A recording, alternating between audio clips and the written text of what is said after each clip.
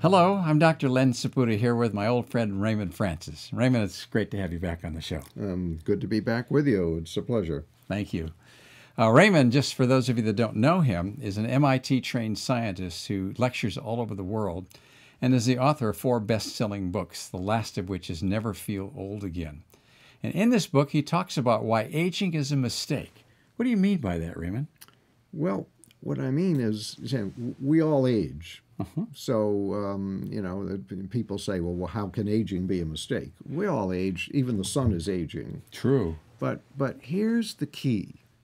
You see, what we consider as aging today, the loss of function, the disabilities, mm. The so called diseases of aging, such as Alzheimer's and osteoporosis mm. and and um, arthritis, you know, the and, hip fractures, and, hip the fractures, all that, you know, the quality of life. The quality of life. That's what we consider to be aging. That's wrong.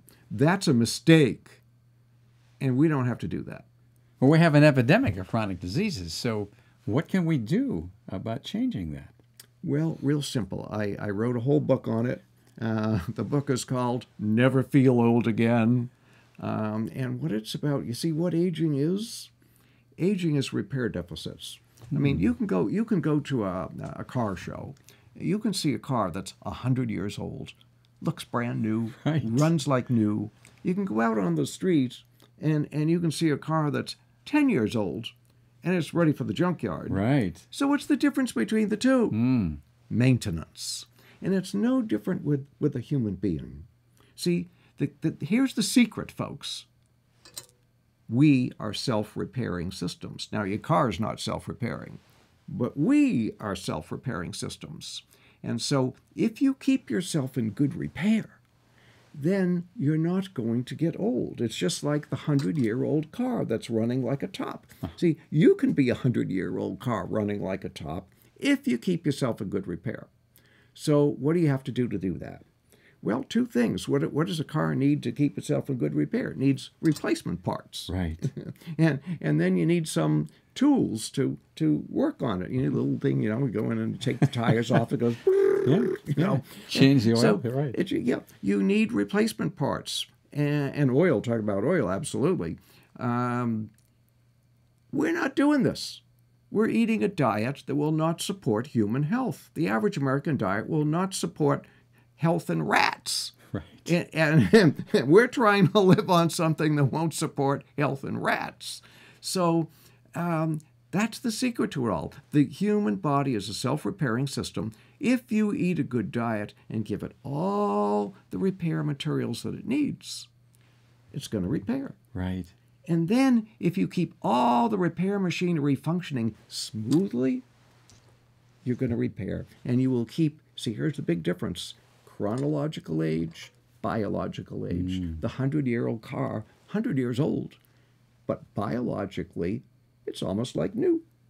Where that old 10 year old car is only 10 years old, right. but biologically, it's over 100 years old. It's falling apart. So, what you're saying, to make it simple, is that lifestyle medicine is what we all should be doing, taking care of ourselves. What are some of the other things that are important besides what you eat?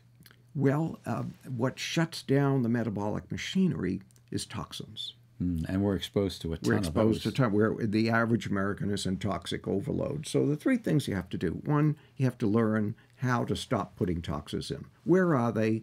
Stop putting them in. And something, you know, change your toothpaste brand, change your shampoo brand. Simple things. Simple things don't buy a new carpet or, or, all the outgassing yeah. or a bed that's got all these or gases a bed, yeah, a new mattress, uh, right. know, standard mattress, uh, outgassing all these toxic chemicals. So um, learn where the toxins are, stop putting them in.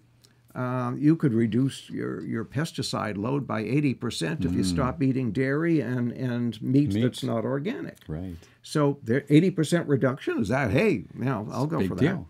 So uh, then you have to support your body's detoxification system. You have to make sure you're giving yourself the nutrients mm-hmm. to support the detoxification system. And there, vitamin C is very important. Adequate amounts of vitamin C.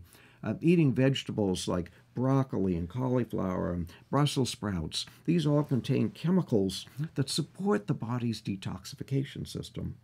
And then the third thing you need to do is to get rid of the stored toxins. And for there, taking regular saunas is very important to get rid of the saunas. stored toxins.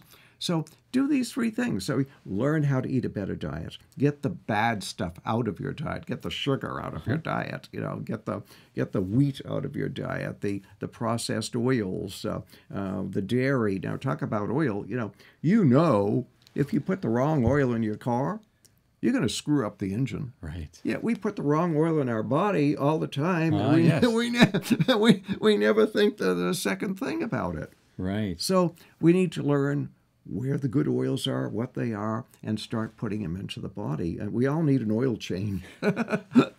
Uh, so Well, how about the other lifestyle factors? How about the way we use our body and take care of it through exercise and sleep and stress? right. Well, um, many of us do not get enough sleep. Um, most of us do not get enough exercise.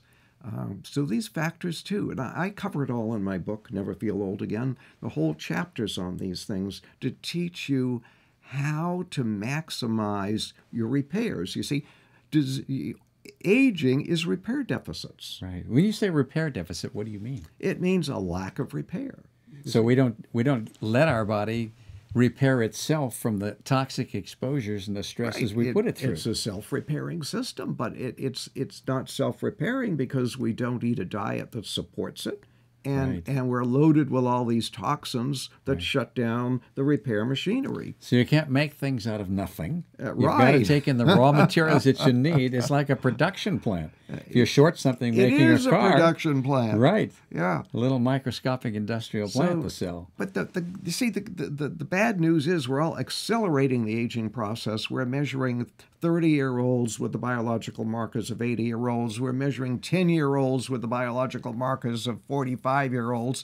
We're accelerating the aging process. We have to stop doing that. And then we have to promote the repair process. When you do that, you lower your biological age, even though you're getting chronologically older.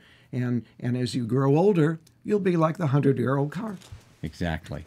So what Raymond is saying is that the buck stops with us. Lifestyle medicine is the future of how we should be taking care of ourselves. And in his book, Never Feel Old Again, you'll learn how never to be sick again. All these things are your responsibility. They're everybody's responsibility. And our healthcare paradigm needs to shift from one that expects, expects us to get sick to one that actually expects us to be healthy because we take care of ourselves.